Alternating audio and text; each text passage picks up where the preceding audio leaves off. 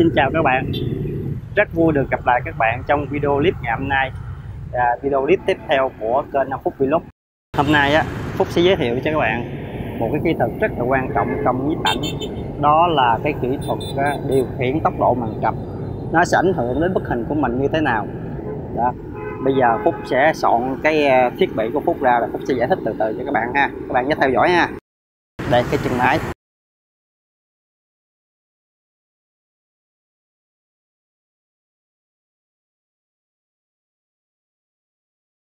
Cái chân máy phúc và bữa nay phúc sẽ nâng hết luôn. Rồi phúc sẽ lấy cái máy ảnh ra. Cũng như mọi lần á phúc vẫn sử dụng cái con đi công d 810 và cái len Eris 11 nhưng mà phúc để test thử cái góc thử coi cái con uh, Eris 11 ở đây nó có rộng lắm không nha các bạn. Rồi để phúc test cái đã. Cái con tiêu cự à, 11 á nó ở đây nó rộng quá các bạn. À mình quên giới thiệu với các bạn nữa cái chỗ phúc đứng điện giờ đang nó là cái bùng binh của ngã sáu à, chùa bà và hay là ngã sáu nhà thờ gì ở trung tâm ở thành phố Hồ Chí Minh nha các bạn.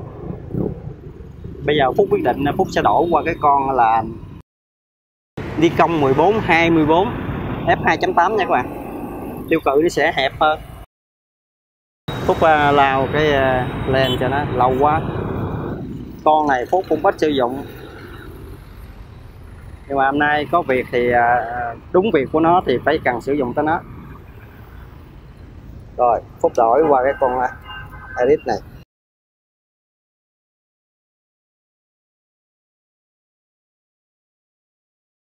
Phúc lấy cái filter ra sẵn luôn đặng à, phúc khóa cái ba lô lại. Để chút xíu nữa mình khỏi phải mở làm lấy nữa bạn. Rồi giờ mình để cái ba lô sát vào đây cái đi cái này trên cái ba lô luôn.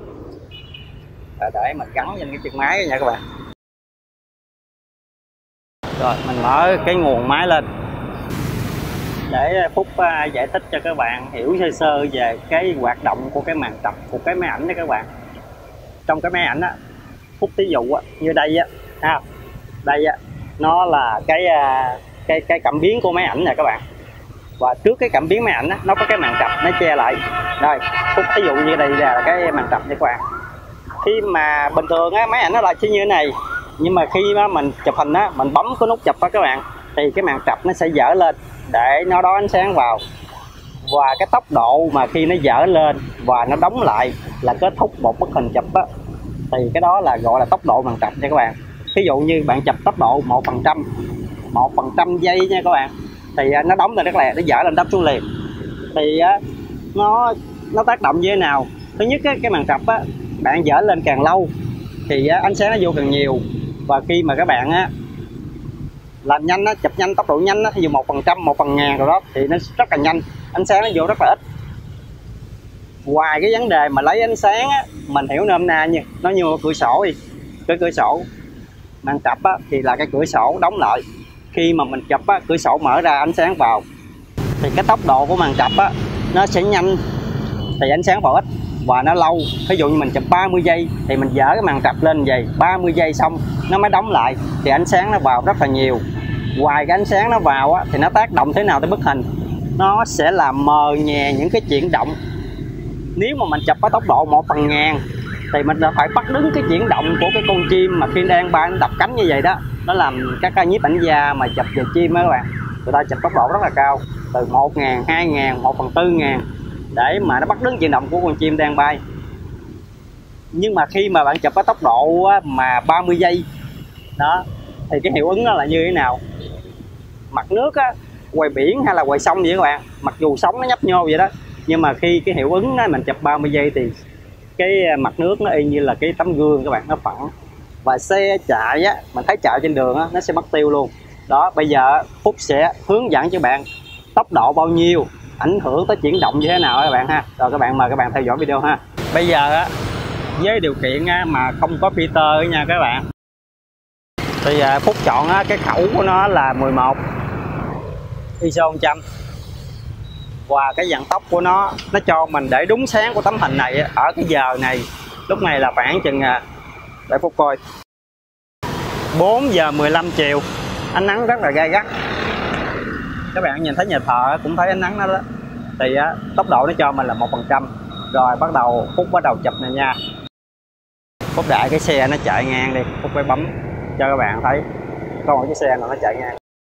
Đó bây giờ bạn xem chiếc xe này nha chiếc xe nó vẫn hơi mờ chút xíu, đúng không?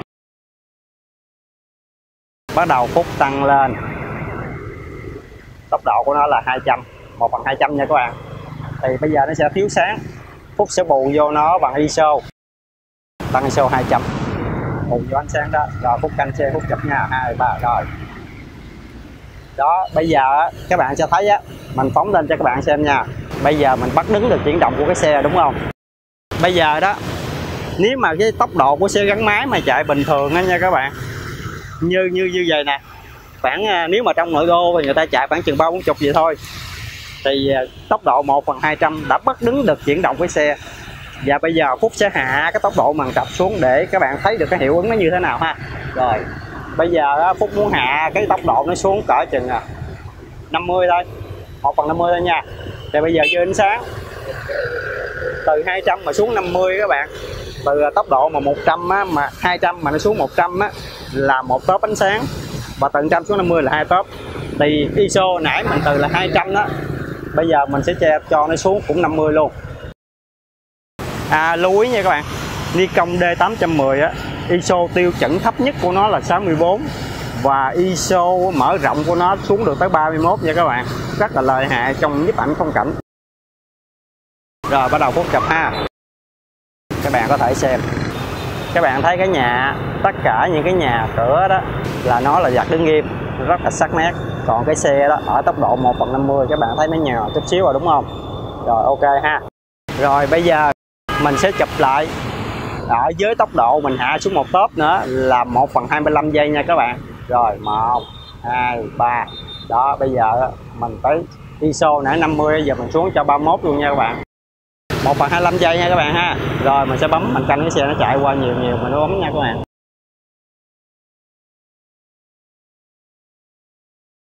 Và bây giờ á, mình sẽ tiếp tục á, mình hạ xuống á, một tốp nữa là một nãy bây, bây giờ hiện giờ đang là một phần 25 giây ha. Mình sẽ hạ xuống nó là một phần 12 có nghĩa là một tốp đó nha các bạn. Rồi một là một phần 13 chẳng một phần 13 các bạn có thể sẽ thấy đó, bây giờ cái uh, xe nó sẽ mờ hơn chút xíu nữa là đó thấy không và bây giờ mình tiếp tục mình hạ xuống á, là gấp đôi đó cho các bạn là 1 phần 6 giây nha các bạn. Đó bây giờ các bạn thấy á, cái xe nó đã nhè là ở cái tốc độ 1 phần 6 giây đó. Đó không? Bây giờ mình lại tiếp tục á, mình cho nó xuống là 1 phần 3 giây nữa nha các bạn tấm hình này là nó bị dư sáng nó cháy nhưng mà không quan trọng. Tại vì ở đây mục đích mình muốn giới thiệu cho các bạn là hiểu được cái hiệu ứng của tốc độ bằng trạch thôi. 1 phần 3 giây là sao các bạn? 1 phần 3 giây đó nó dở lên xong cái nó đóng xuống một cái. Đó là 1 phần 3 rồi bắt đầu phút canh cái xe nó chạy qua nhiều nhiều chút xíu nha. Đó bây giờ ở tốc độ 1 phần 3 giây á, các bạn thấy cái xe nó như thế này nè. Bây giờ á Phúc sẽ gắn cái filter vào để Phúc điều khiển được cái tốc độ mình muốn nha các bạn. Đây để Phúc gắn filter vô.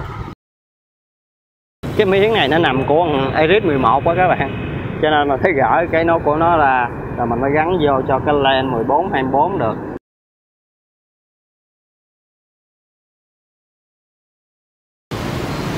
Các bạn thấy nha hồi nãy á, mà mình chụp vào cái thông số 1 phần 3 giây á ở cái khẩu mà kép hết luôn 22 đó là ISO xuống 31 luôn á. Là nó vẫn dư sáng. Khi mà gắn filter ND 10 tớp vô rồi đó thì các bạn thấy thiếu sáng. Bây giờ mình quyết định á, mình sẽ chụp ở cái thông số á, một giây đi. Rồi ok. Một giây ha. Cái thông số kia phút dẫn để giữ đi.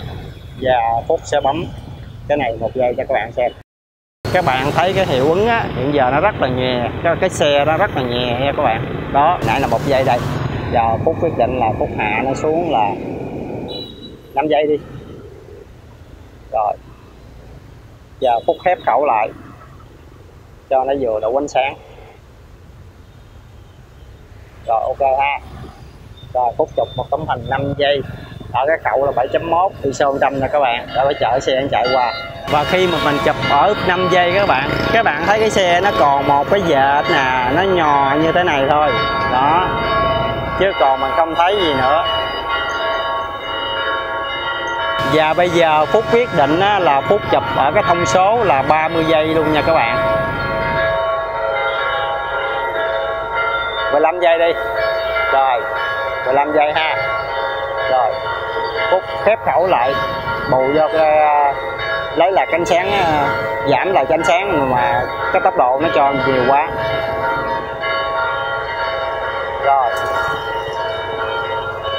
Độ bàn cặp của nó là 15 giây. Khi mà nó dở lên 15 giây, nó mới hạ xuống nha các bạn. Và khẩu độ của nó là 14 ISO 100 nha các bạn. Rồi, bây giờ phút chụp nha. Rồi. Để mình quay cho các bạn. Đây. Ngã sáu nhà thờ buổi chiều nè các bạn. Đó. Cái nhà thờ nhà thờ này là nhà thờ chánh tỏ phú cường nha các bạn. Nổi tiếng nhất ở bình dương luôn, thành phố thủ Dầu một xây dựng cái nhà thờ này trăm tỷ các bạn. Rồi tấm hành đã xong. Các bạn thấy á nè để anh quay các bạn cho, cho thấy nè xe đó nó đang chạy vậy nè thấy không? Đây xe đang chạy đây. Đó. Nhưng mà khi mà bạn chậm ở tốc độ á, 15 giây á thì các bạn nhìn vô trong màn hình của cái máy ảnh nè các bạn sẽ không thấy một chiếc xe nào hết tại vì cái thời gian mà 15 giây á, là chiếc xe nó di chuyển từ cái chỗ này đây từ cái chỗ xe này. Đó. Nó đi qua tới mút bên kia rồi. Cho nên á, là mà sẽ không thấy chiếc xe. Nếu mà mình chụp vào cái thời gian này mà ban đêm á các bạn thì các bạn sẽ thấy á, là nó còn một cái dệt đèn. Mà các bạn hay xem ảnh á các bạn thấy một dệt đèn trên đường thôi chứ không thấy chiếc xe nào. Đó cái lý do đó các bạn để mình quay một vòng cho các bạn xem nha. Đây. Buổi chiều, thành phố thủ dầu một.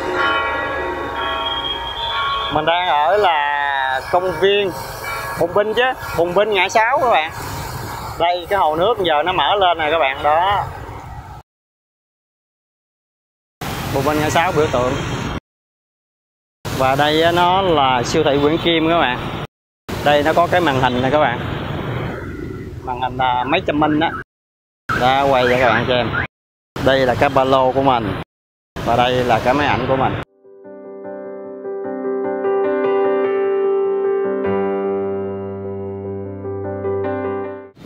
Phúc xin kết thúc video ở đây nha các bạn. À, các bạn hãy ủng hộ kênh à, Hồng Phúc Vlog bằng cách đăng ký kênh và like nha các bạn. Hẹn gặp lại các bạn trong video clip tiếp theo tôi cái chia sẻ về những các kỹ thuật nhiếp ảnh nha các bạn. Bye bye hẹn gặp lại ha.